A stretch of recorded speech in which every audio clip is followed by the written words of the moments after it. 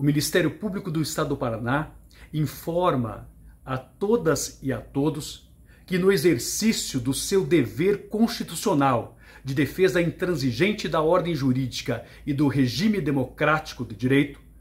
tem acompanhado de perto as movimentações no âmbito do Estado do Paraná.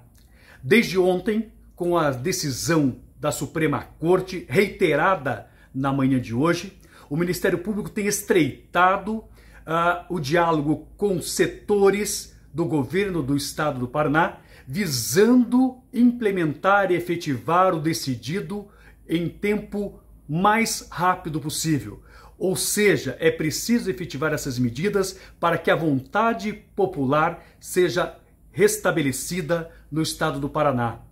Digo mais que neste ambiente o Ministério Público também eh, não olvidará de buscar as respectivas responsabilizações por eventuais descumprimentos ou cometimento de crimes por quem quer que seja,